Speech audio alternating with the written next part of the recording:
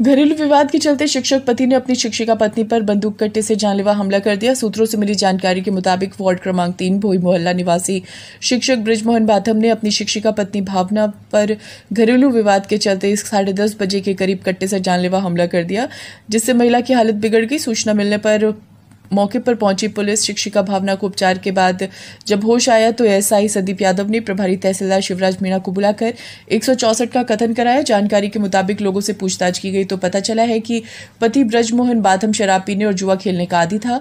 गत सूत्रों से ये दिनांक सात सात इक्कीस को शिक्षक वेतन के रुपए निकालकर शायद जुआ खेलने गया था।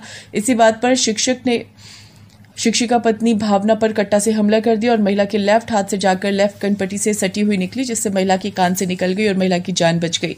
झगड़े का मुख्य कारण शराब का और जुआ का खेलना बताया जा रहा है। इसी वजह से पति और पत्नी के बीच आए दिन झगड़ा होता रहता है।